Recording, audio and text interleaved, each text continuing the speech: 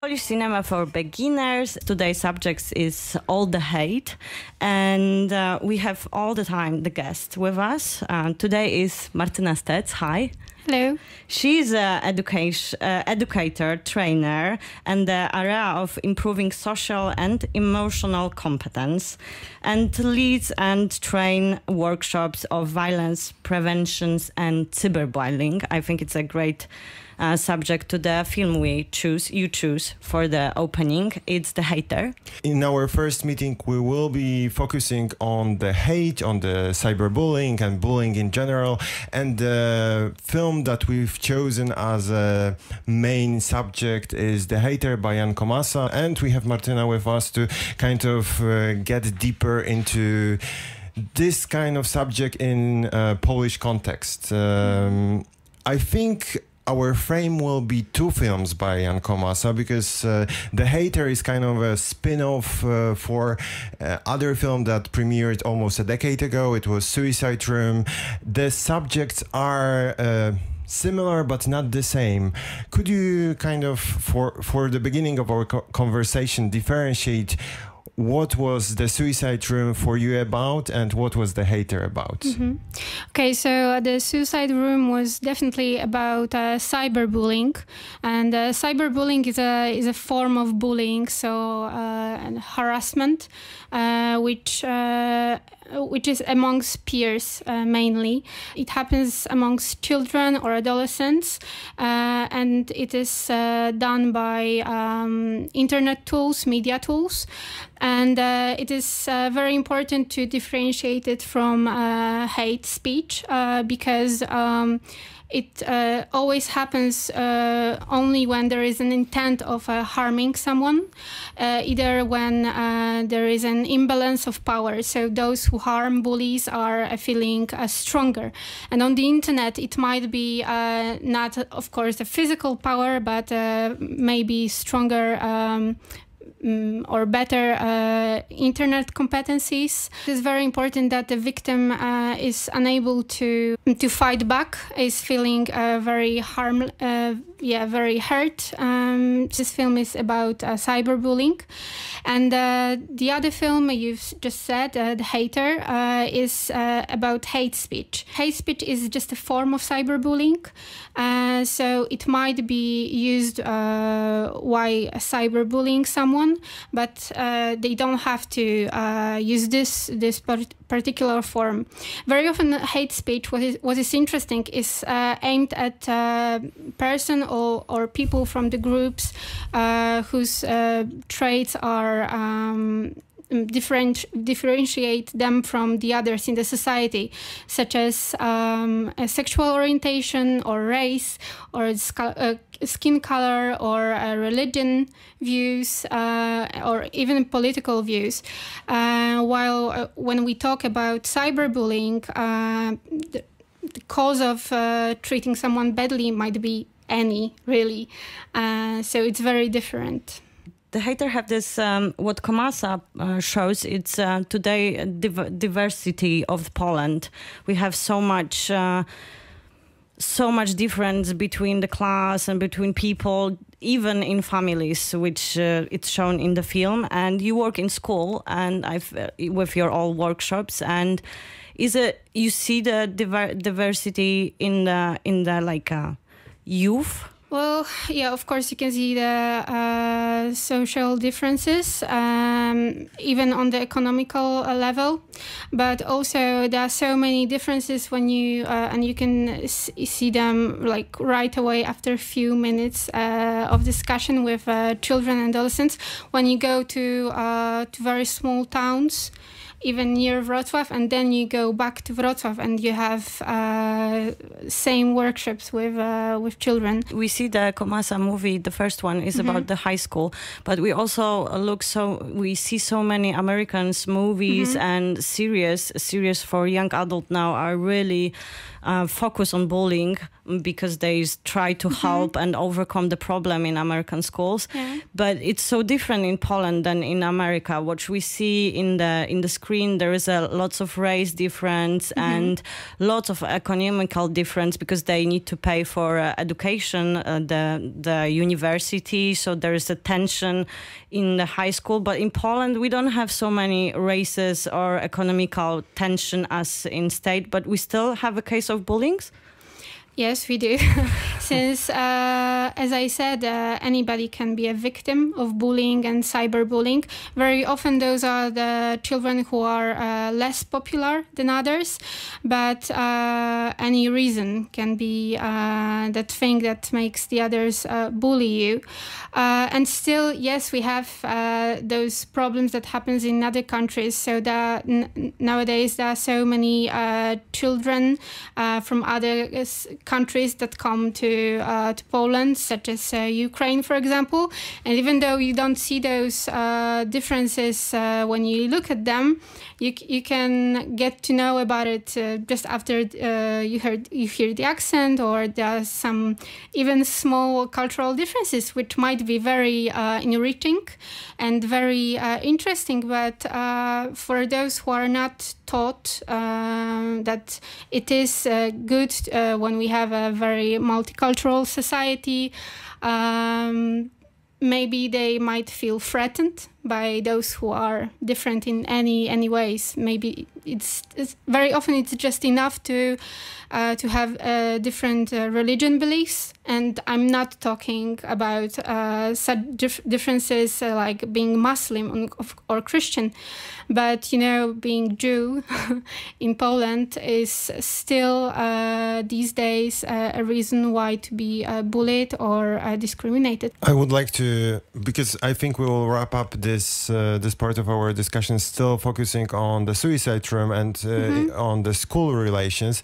I would like to ask you how realistic the portrayal in uh, the Suicide Room by Jan Komasa, but also in The Word by Anna Kazejak, and it's also also uh, set in high school, in mm -hmm. high mm-hmm. school uh, mm, scenario. So how realistic are, are those po portrayals of uh, Polish youth, Polish schools, and bullying in Polish circumstances?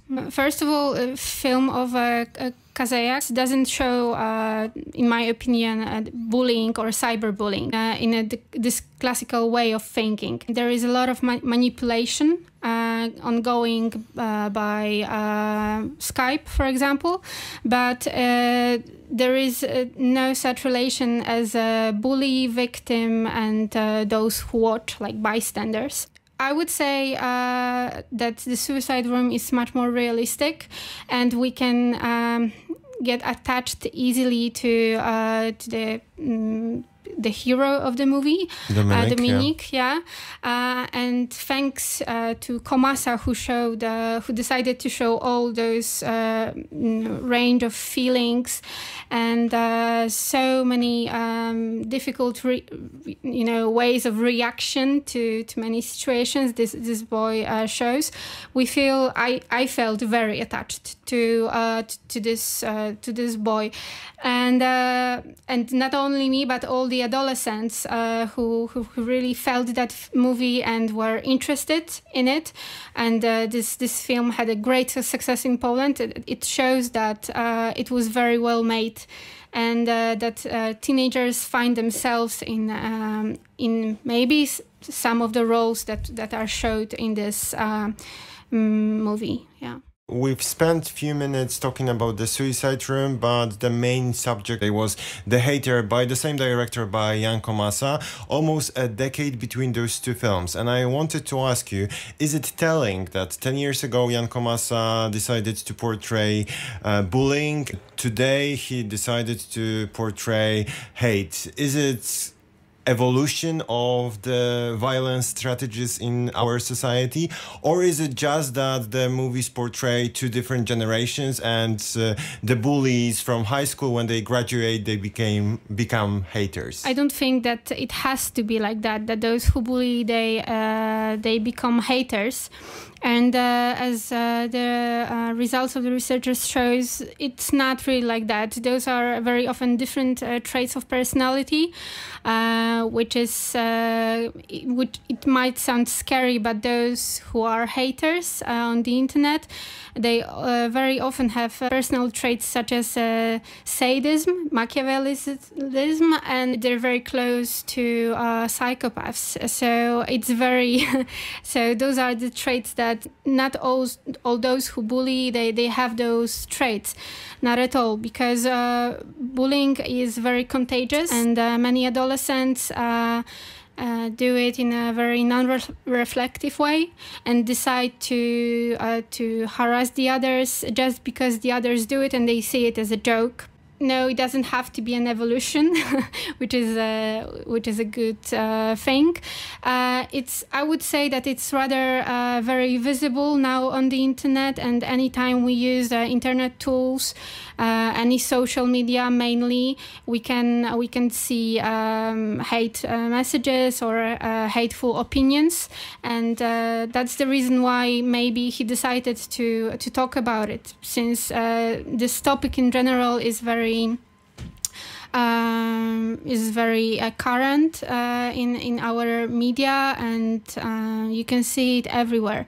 Also, uh, the other thing he talks about is uh, those social inequalities and um, how uh, how different our point of views are on life in Poland nowadays. Uh, and there is only white and black and white uh, views. That's the only thing we can see, and uh, I think that's why he port- portrayed uh, this this topic because we are very divided these days.